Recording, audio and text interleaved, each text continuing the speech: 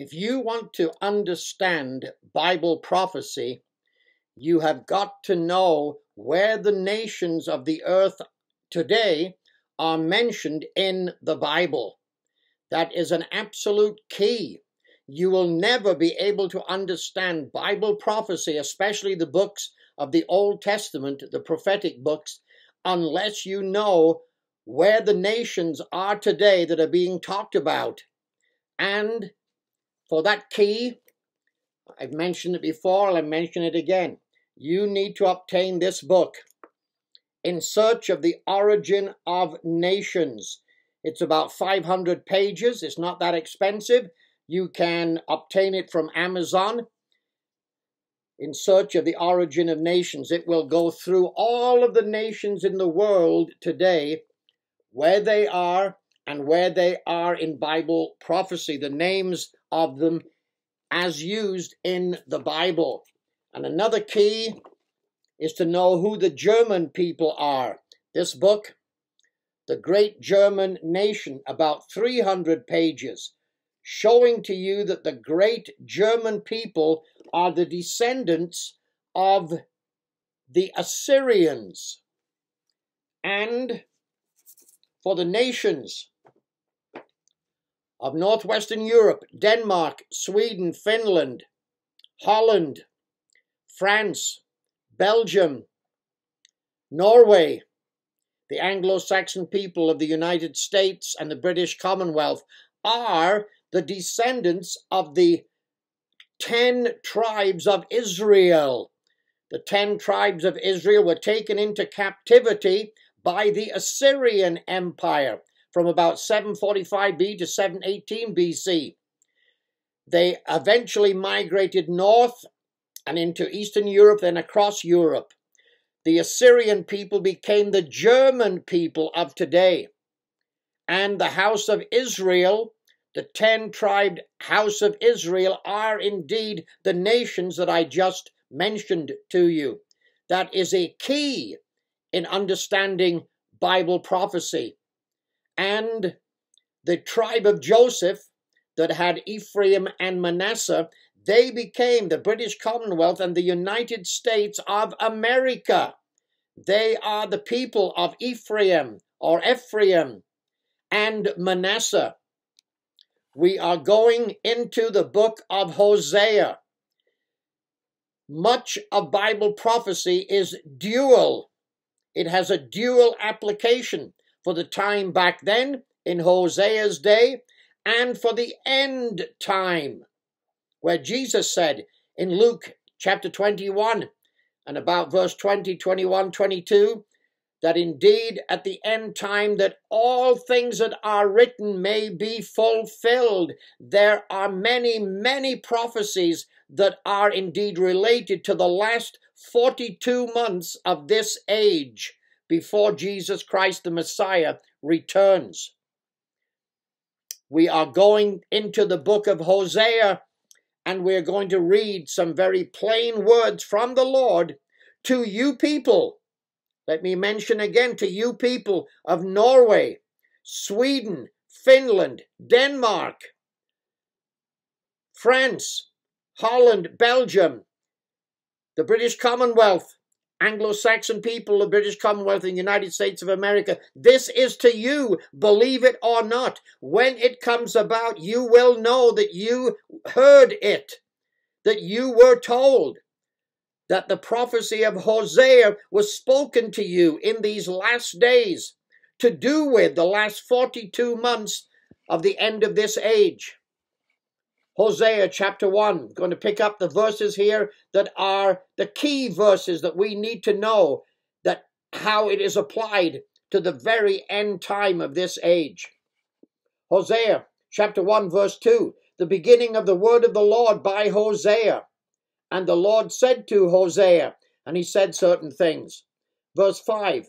And it shall come to pass at that day, this is at the end time, that I will break the bow of Israel in the valley of Jezreel. Well, that's a second application.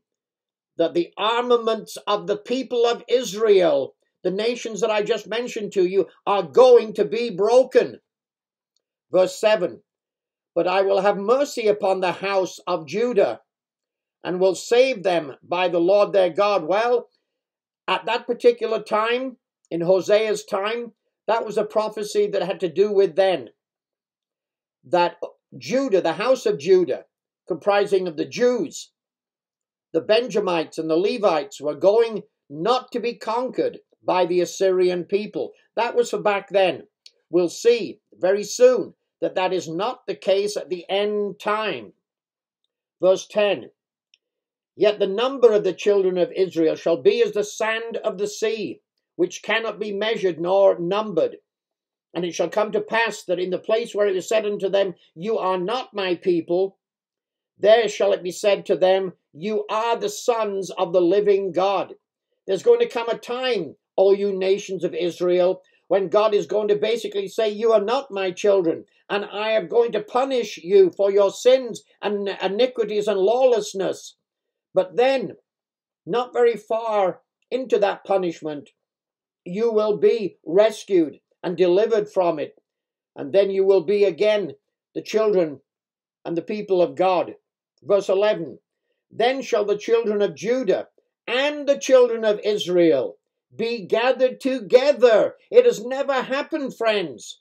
This has never happened, not in the 20th century. This has never happened since there was a house of Israel and a house of Judah. It has never happened. The two sticks of Ezekiel 37 have not yet been put together, but they will be. Then the children of Judah and the children of Israel shall be gathered together and appoint themselves one head, and they shall come up out of the land, and great shall be the day of Jezreel. Well, great will be the second coming of Jesus Christ. When the house of Israel and the house of Judah will appoint themselves a one head, we have seen in other videos and other prophecies like Jeremiah that David will be resurrected when Jesus returns. When the Messiah comes, Jesus will be resurrected. And not Jesus, Jesus will resurrect David when he comes. And they he will be the head of Israel all of the tribes of Israel, all 12 tribes of Israel, and the 12 apostles, as Jesus promised in the Gospels, will be over each tribe, an apostle over each tribe. And so it will indeed come to pass that they will be gathered together, the children of Judah and the children of Israel, and will have one head. They will indeed have Jesus as the main, of course, and the most important head, but they will also have David resurrected in the resurrection that takes place at the coming of Christ, and he will be their king. And the 12 apostles under David ruling a tribe of Israel. Chapter 2 and verse 8.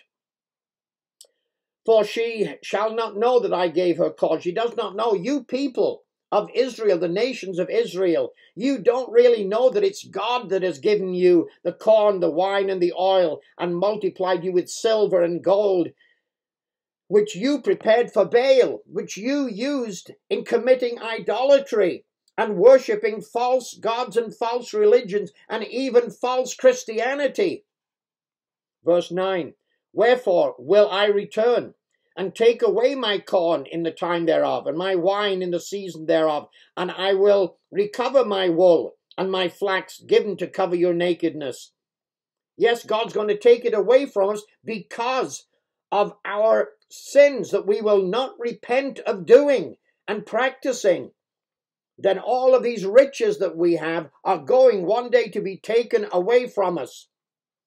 Verse 10 And now will I discover her lewdness in the sight of her lovers, and none shall deliver her out of my hand. When this happens, nobody is going to be able to deliver you, nations of Israel, from the punishment the Lord is going to execute upon you.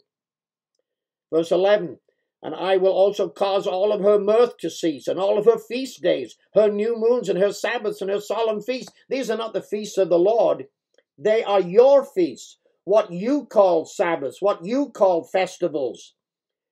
What you call feasts and festivals are not what God calls the proper feasts and festivals that you should be observing and he will take then all of that you have made up in worshiping him with all kinds of different feasts that are not in the Bible, that are from Baal and from paganism, and he's going to take them away from you. Verse 12, and I will destroy her vines and her fig trees, where she has said, These are my rewards from my lovers that have given me. I will make them a forest, and the beasts of the field shall eat them. And I will visit upon her the days of Baalim, wherein she burned incense to them, all of your pagan practices and ways. You want to go onto my website, keithhunt.com, and you want to read the book under the section called God's Feasts and Sabbath. And you need to read that book written by a Catholic bishop, and it is called Christian Feasts and Customs. And he lays it right on the table. He puts the cards on the table and he tells you where all of these things come from that you have adopted as so called Christian religion. So God will visit us because of all of these days and feasts of Baalim. And he will take away all the precious things that we have and all that we have done by going after our lovers and forgetting God. In verse 13, he says, You did all these things and forgot about me.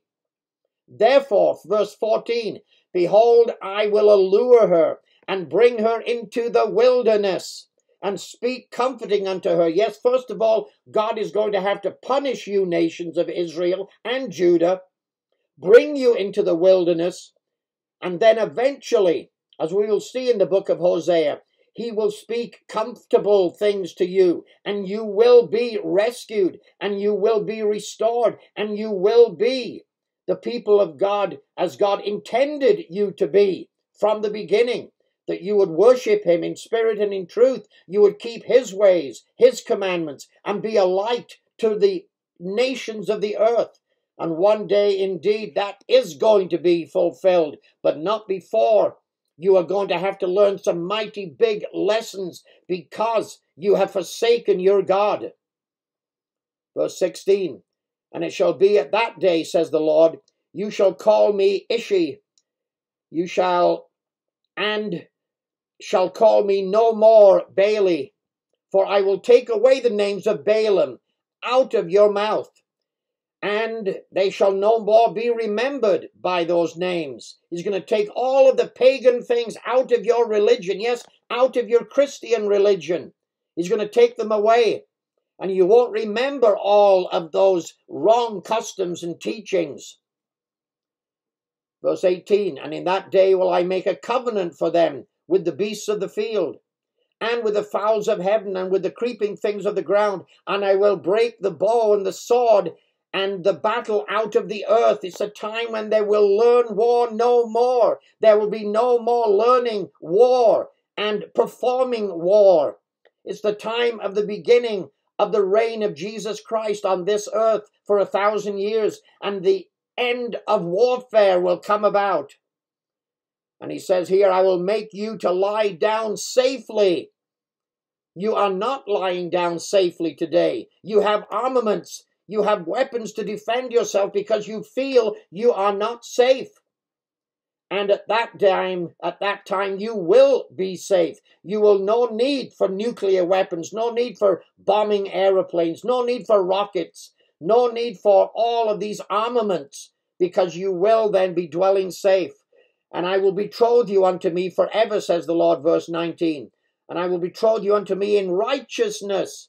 And that is the commandments of God, my friends, and in judgment, and in loving kindness, and in mercies. And I will even betroth you unto me in faithfulness. And you shall know that I am the Lord. And it shall come to pass in that day I will hear, and I will hear, the heavens and the earth shall hear, and the earth shall hear the corn and the wine and the oil, and they shall hear these things. And indeed, they, I will sow her unto me in the earth, and I will have mercy upon her that didn't obtain mercy. And I will say to them which were not my people, You are my people. And they shall say, You are my God. Yes, the time is coming when you people of Israel and Judah will know who the true God is, and you will say that he is your God, and he will say, You are my people.